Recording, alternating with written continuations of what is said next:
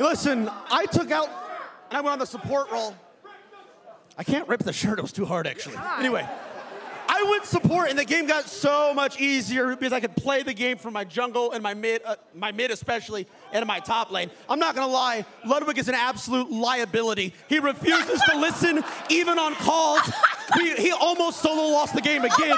but tried his his absolute best. And I respect him. Everybody on this team did well in that last game.